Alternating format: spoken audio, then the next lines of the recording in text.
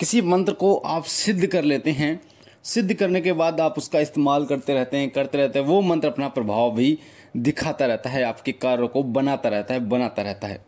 पर कई बार ऐसे साधक या ऐसे लोग जो मंत्र जाप करते हैं, जिन्होंने मंत्र सिद्ध किया है, वो अपनी पारिवारिक समस्या के कारण या फिर अपने मन के कारण उस मंत्र का जाप फिर नहीं करते और फिर उनको परेशानियाँ आनी शुरू हो जाती हैं।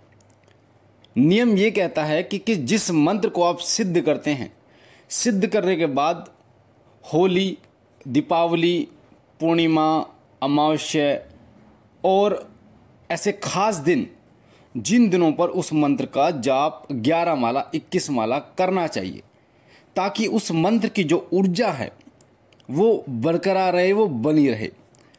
जब आप मंत्र जाप करते हैं तो धीरे धीरे मंत्र की ऊर्जा इकट्ठी होनी शुरू होती है।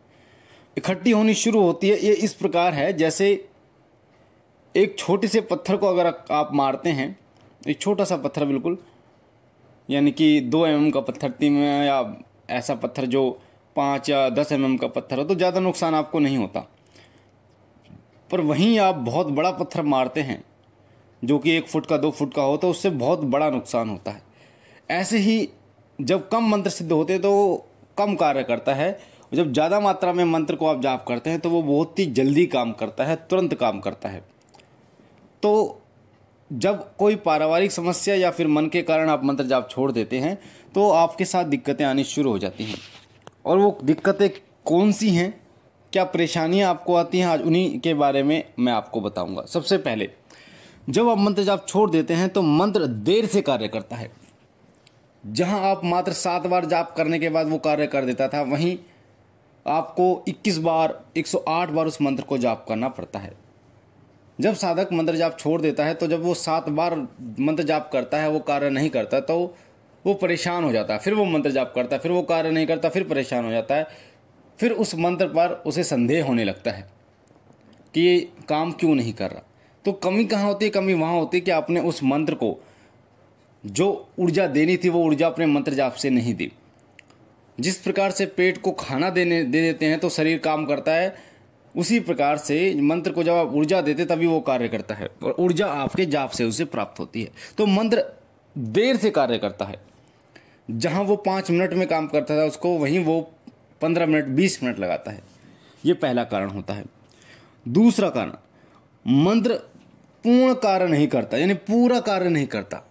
जैसे मान लीजिए कोई ऐसा मंत्र है जिसके माध्यम से आपको पूछा लेनी है। पूछा यानी कि किसी के विषय में जानना है कि आप ग्यारह बार उस मंत्र का जाप करें और देवता फिर आपको कान में बताता है सब कुछ। ये व्यक्ति कहाँ का है, कहाँ से आया है, क्या करता है, वो सब बताता है। पर जब आप मंत्र जाप छोड़ देते हैं और उसके बाद आप ग्यारह बार मंत्र जाप करने के बाद, इक्कीस बार मंत्र जाप करने के बाद फिर देवता से पूछते हैं, ये कौन है, कहाँ से? तो आपको पहले तो धुंधला धुंधला सुनाइया दिखाई देता है। साफ़ साफ़ सुनाई दिखाई नहीं देता, जो पहले देता था। और दूसरा, पूरी जानकारी प्राप्त नहीं होती। कई बार कुछ गलत जानकारी भी प्राप्त हो जाती है सही के साथ। तो ये मंत्र जाप छोड़ने के कारण ही होता है। जो लोग मंत्र जाप छोड़ देते हैं तो उनके कारण होता है। फिर वो कहते हैं, जी, मेरी सिद्धि काम नहीं कर रही, मेरा मंत्र काम नहीं कर रहा। तो कमी कहाँ आती है? वहीं कमी आती है कि वो मंत्र जाप छोड़ देते हैं। तीसरा कारण है कि मंत्र पूरी ऊर्जा से कार्य नहीं करता। पूर्ण ऊर्जा से कार्य नहीं करता। मंत्र बोलते ही वो कार्य करता था, वहीं मंत्र की जो कार्य करने की क्षमता है, वो धीरे हो जाती है। और वो बहुत देर में कार्य करता है। जैसे कैसे, कई ऐसे मंत्र होते हैं जो सिर दर्द को ख़त्म करने के मंत्र होते हैं, या फिर शरीर किसी का परेशान है, कोई दर्द है, कहीं उस दर्द को ख़त्म करने के मंत्र होते हैं तो जहाँ मंत्र पढ़ा, हाथ रखा या फूंक मारी तो कार्य कर देता था, दो मिनट में वहीं आप बार बार हाथ रख रहे हो बार बार फूंक मार रहे हो वो मंत्र कार्य नहीं करता। पंद्रह मिनट, बीस मिनट, आधा घंटा हो जाता है, तब कार्य करता है। तो ये मंत्र जाप छोड़ने के कारण ही होता है। अगला कारण है, आपका ओरा कमज़ोर होता चला जाता है। जिस ओरे को आपने बढ़ाया, अपनी मेहनत से, अपने मंत्र जाप से आपने उसको मज़बूत किया, वहीं मंत्र जाप छोड़ने के कारण वो ओरा धीरे धीरे धीरे धीरे निष्क्रिय होता चला जाता है। वो कमज़ोर होता चला जाता है। और जब ओरा किसी का कमज़ोर होता है, मैं आपको उदाहरण के लिए बता दूँ, ओरे का क्या प्रभाव होता है? एक व्यक्ति जिसका ओरा मज़बूत होता है, जब वो जाता है तो नकारात्मक शक्तियाँ दूर दूर से चली जाती हैं, उससे दूर दूर भटकती नहीं हैं।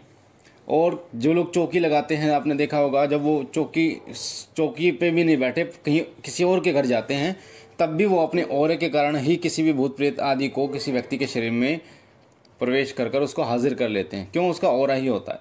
साथ ही और के कारण ही आपके शरीर में कोई नकारात्मक शक्ति प्रवेश नहीं कर पाती, ना ही किसी प्रकार का नुकसान कर पाती है। आप बिना सुरक्षा के बैठ जाओ, बिना सुरक्षा मंत्र के बैठ जाओ, फिर भी आपका और अगर मज़बूत है तो वो नकारात्मक शक्ति किसी भी तरीके से आपके शरीर को नुकसान नहीं पहुँचा पाएगी। तो ये सबसे बड़ा जो कारण होता है कि आपका और कमज़ोर हो जाता है, जिसके कारण आपकी आध्यात्मिक उन्नति रुक जाती है। अगला कारण होता है, वो होता है वाणी का प्रभाव कम हो जाना। जब भी आप किसी मंत्र की सिद्धि करते हैं, किसी मंत्र को जाप करते हैं, सिद्ध करते हैं तो सबसे पहले आपकी वाणी ही सिद्ध होती है। आपके मुख से, आपकी वाणी से निकल गया एक एक शब्द सत्य होना शुरू हो जाता है। इसलिए कहा जाता है कि साधना के दौरान आपको किसी से अपशब्द नहीं बोलने चाहिए, कुछ ऐसे शब्द नहीं बोलने चाहिए, जिससे किसी को नुकसान हो, क्योंकि वो शब्द उस समय पर आपकी वाणी सिद्ध होती है और वो शब्द कार्य करते हैं। इसलिए साधना के समय पर आपको या तो चुप रहना चाहिए, कम से कम बोलना चाहिए, या फिर कोशिश करनी चाहिए कि किसी को अपशब्द आप ना बोलें। इससे आपकी वाणी पर प्रभाव पड़ता है। आपकी वाणी के द्वारा, जो आपकी वाणी सिद्ध हुई है, उसका प्रभाव धीरे धीरे कम होना शुरू हो जाता है। जब आप तो ये ऐसे कारण मैंने आपको बताया कि जब आप मंत्र सिद्ध कर लेते हैं, उसके बाद मंत्र सिद्ध करके छोड़ देते हैं, उनका जाप नहीं करते तो आपके साथ ये परेशानियाँ होनी शुरू हो जाती है। तो इसलिए इस चीज़ का विशेष रूप से आप ध्यान कीजिए कि जब भी आप कोई मंत्र सिद्ध करें, मंत्र सिद्ध करने के बाद होली और दीपावली ग्यारह या इक्कीस माला उस मंत्र की ज़रूर जाप करें। चाहे आपके पास दस मंत्र हो, दसों मंत्रों को होली, दीपावली, आपको ग्यारह ग्यारह, इक्कीस इक्कीस माला जाप कर दिए ताकि उनकी मंत्र की ऊर्जा बनी रहे। अगर आप उस दिन नहीं कर सकते तो रोज़मर्रा की ज़िंदगी में आप पाँच माला कम से कम उस मंत्र का जाप करें ताकि उसकी ऊर्जा बनी रहे और वो अपना प्रभाव दिखाता है। तो ये जानकारी थी कि मंत्र सिद्ध होने के बाद अगर मंत्र जाप छोड़ते हैं तो आपके साथ क्या होता है, मुझे आशा है ये जानकारी आपको पसंद आई होगी। अगर आप पहली बार हमारे चैनल शिव कृपा अपने तो शिव कृपा परिवार से जुड़ने के लिए चैनल को सब्सक्राइब कीजिए, लाइक कीजिए, शेयर कीजिए ताकि और लोगों तक जानकारी जाए। और लोग भी इसका फ़ायदा उठा पाएँ।